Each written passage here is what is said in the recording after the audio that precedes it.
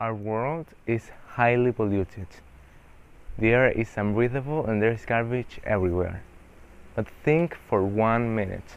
Those things are just the result of our own actions, which means that what really needs to be changed is the way we are doing things the products we buy, the cars we drive, and the rubbish we throw away.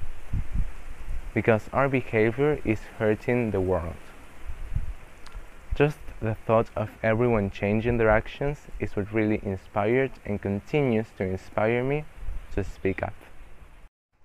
Instead of just sitting down and thinking, there's nothing I can do, we must fight it. How can we do that?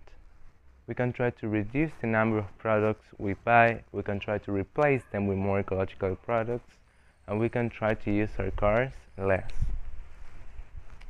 I know these actions are small, but even they can help us to make the world a little bit better.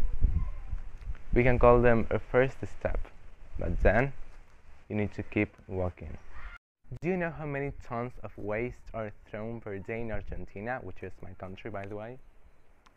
45,000 tons, which is one ton every two seconds. I mean, it's unbelievable.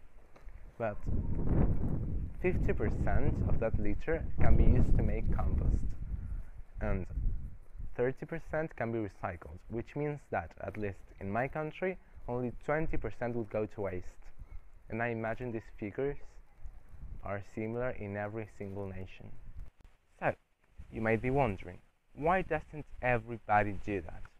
Okay, it would be amazing if every single person thought and cared a lot about the world. Unfortunately, this isn't happening, and me just saying this won't make it happen either. Someone must do something. In my country, even though there are containers for recyclable materials, people don't recycle and they don't make compost either. Why is that? They don't know how to recycle, they don't know what to recycle, they don't know where to throw it, and they don't know how to make compost. So, what we need is education on how to take care of our planet. Then, a proposal is directed to the government of our country and many others. They need to give us the tools so we can recycle, make compost, and take care of our world.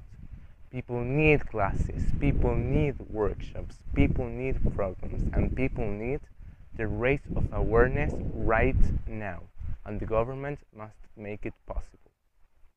I'm also interested in sending this message out to the families because they are the first educators. And to the enterprises as well because they need to stop thinking about financing to start caring about our world. They need to redesign their devices so they are recyclable and so they can last longer.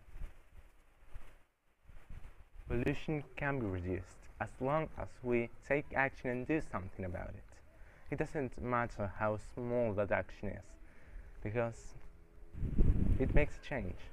Just the thought of one person making a difference fills me with hope and pride. Because if that one person can change, that means we can all do it. Hi, I'm Joaquin Gauna. I'm 15 years old and I'm from Argentina. And this is my speech for the EF Challenge 2020. Thank you for listening.